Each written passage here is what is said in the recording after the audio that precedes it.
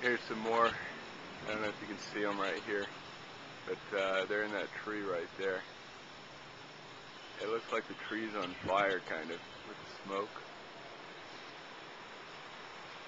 They're all over the place. You can see them all down the, the water line. It's kind of neat, actually.